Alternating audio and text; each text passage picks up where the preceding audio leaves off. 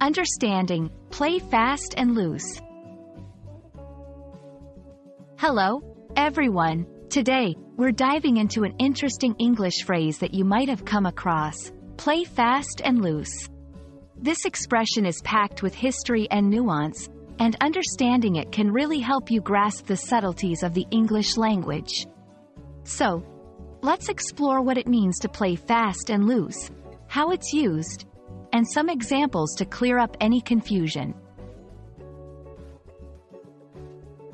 When someone says that a person is playing fast and loose, they're describing behavior that is reckless, irresponsible, or deceptive. It's often used to criticize someone who isn't following the rules or who is acting in a way that's untrustworthy or manipulative.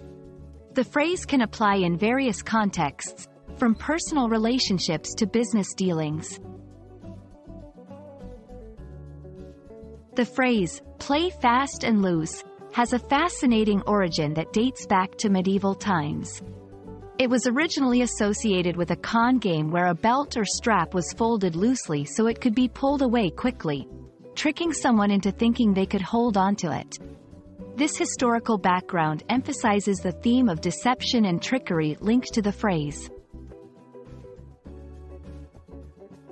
Using play fast and loose in conversation or writing effectively communicates a strong disapproval of someone's actions. Here are a few tips. Context is key. Make sure the situation involves irresponsibility or deception. Tone of voice. It's often used in a critical or disapproving manner. Examples. Incorporating examples can clarify your point. For instance, he's playing fast and loose with the company's finances. To help solidify your understanding, let's look at some examples.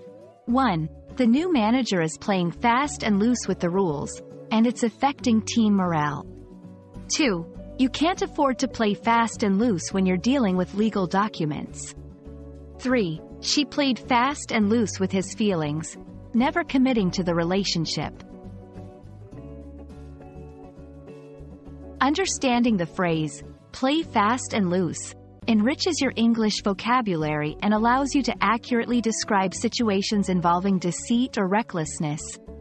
Remember, language is not just about words but the stories and histories they carry. I hope this video has been informative and adds a new layer to your language learning journey. Happy learning, and see you in the next video.